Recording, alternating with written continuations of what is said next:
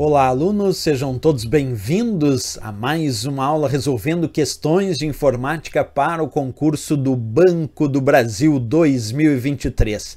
Pessoal, antes da gente começar a nossa questão de hoje, sempre lembrando quem desejar adquirir o nosso curso com o conteúdo de informática para o concurso do Banco do Brasil, pode acessar o nosso site. O endereço é veonconcurso.com.br e o link para acesso está aqui na descrição desse vídeo.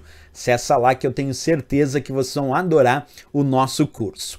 Bem, então vamos lá para a resolução da nossa questão de hoje que diz assim: o Microsoft Edge pode sincronizar o histórico, os favoritos e as senhas e outros dados do navegador de um usuário em todos os dispositivos conectados. Para ativar a sincronização, deve-se selecionar a opção Sincronizar, pressionar o botão Ativar sincronização, selecionar os itens que devem ser sincronizados e pressionar o botão Confirmar. A opção Sincronizar é uma das subopções da opção de configuração de letra A, Perfis, letra B, Sistema, letra C, Proteção para a família, letra D, Cookies e permissões de site e a letra E, Privacidade, Pesquisa e Serviços. Bem, Pessoal, para entender bem essa questão, nós precisamos primeiro entender o que, que é a ideia da sincronização aqui dentro do navegador Microsoft Edge. Quando a gente entra nesse navegador, nós podemos entrar e sincronizar a nossa conta, nosso perfil de usuário com outros dispositivos. E por que, que eu faria isso? Porque se eu uso o Microsoft Edge aqui no meu computador de uso pessoal, no meu desktop, uso no meu laptop, uso também no meu smartphone e uso também no meu tablet, isso significa dizer que quando eu coloco, por exemplo, um determinado site em favoritos, automaticamente, quando eu acessar através de um outro dispositivo, esse favorito vai constar lá no outro dispositivo também, porque eu estou trabalhando com a minha conta, com o meu perfil de usuário dentro do Microsoft Edge sincronizado. Essa sincronização sincroniza a minha conta e o meu perfil de usuário do Microsoft Edge com os outros dispositivos dos quais eu também utilizo o navegador. E, por exemplo, de repente eu acessei aqui com o meu desktop um site e esse site ficou no histórico. Se eu acessar agora lá com o meu smartphone o navegador Microsoft Edge, esse site que eu acessei aqui no meu desktop vai estar também sincronizado e disponível lá no meu smartphone. Então essa é a grande vantagem da sincronização. Ela faz parte do que a gente chama de perfil do usuário do Microsoft Edge. Deixa eu mostrar para vocês aqui na prática como é que a gente pode observar essa sincronização. Percebe esse símbolo, esse íconezinho que vocês estão enxergando aqui, ó? Parece um bonequinho, desenho de um bonequinho, dá acesso ao perfil do usuário dentro do Microsoft Edge. Então, quando a gente clica nesse iconezinho, que é o que eu vou fazer agora, ele abre esse painel e no meu caso, ele já está indicando que eu estou acessando com uma conta pessoal, indica o meu endereço de e-mail do qual eu estou usando para sincronizar a minha conta do Microsoft Edge e no meu caso já está dizendo que a sincronização está ativada. Se ela não estiver ativada, claro que eu vou clicar para ativar se eu desejar usar esse recurso. E além disso, eu posso acessar ainda outros perfis porque de repente existem outros perfis de usuário que vão usar esse mesmo computador e de repente querem acessar o Microsoft Edge com a sincronização de um outro perfil. Né? Esse é um ponto. Uma outra forma que prova que a sincronização faz parte do perfil do navegador Microsoft Edge, quer dizer, das configurações relacionadas ao perfil do navegador, é o seguinte: se vocês clicarem aqui na barra de endereços do navegador Microsoft Edge e digitarem a seguinte URL que eu estou destacando agora: edge dois pontos barra barra settings barra profiles.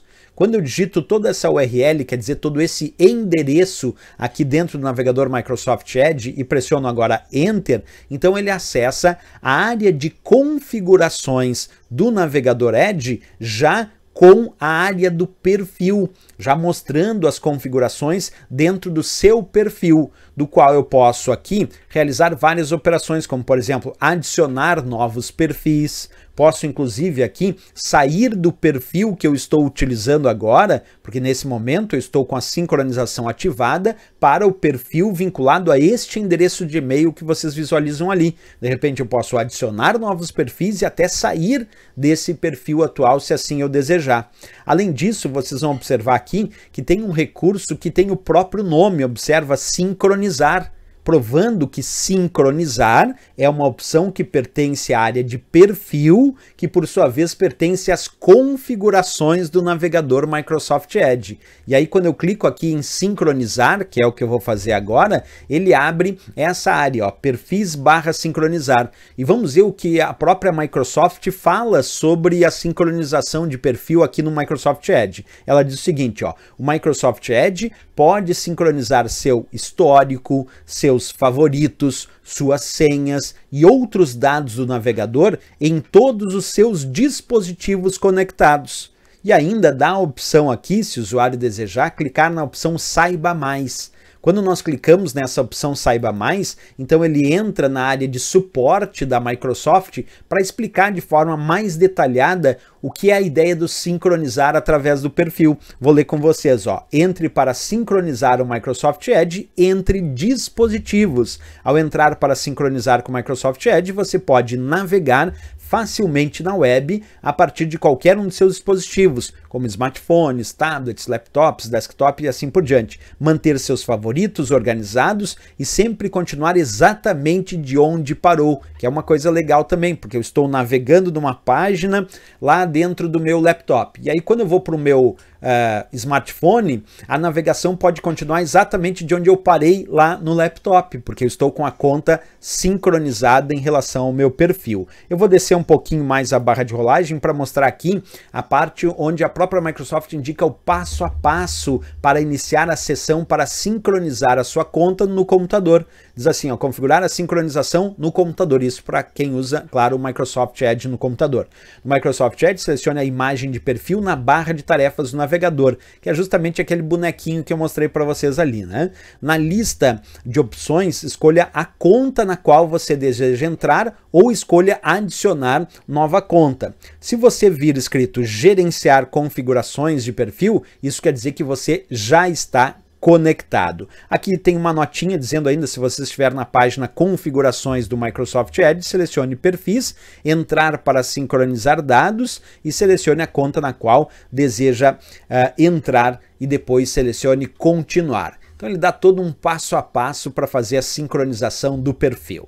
Voltando lá na questão, pessoal, ficou agora bem fácil, porque a questão falava o Microsoft Edge pode sincronizar o histórico, os favoritos, as senhas e outros dados no navegador de um usuário em todos os dispositivos conectados, que era o que era dito pela própria Microsoft. Para ativar a sincronização, deve selecionar a opção sincronizar, pressionar os botões ativar sincronização, selecionar os itens que devem ser sincronizados e pressionar o botão confirmar. E aí vem a pergunta de fato da questão que disse: a opção sincronizar é uma das subopções da opção de configuração de perfis que nós temos ali na letra A de América, porque eu acabei de mostrar para vocês que a ideia de realizar sincronização de uma determinada conta no Microsoft Edge é uma relação com o perfil daquele usuário e da sua sessão de trabalho no momento. Por isso aqui ficamos com A de América gabarito e a resposta desta questão.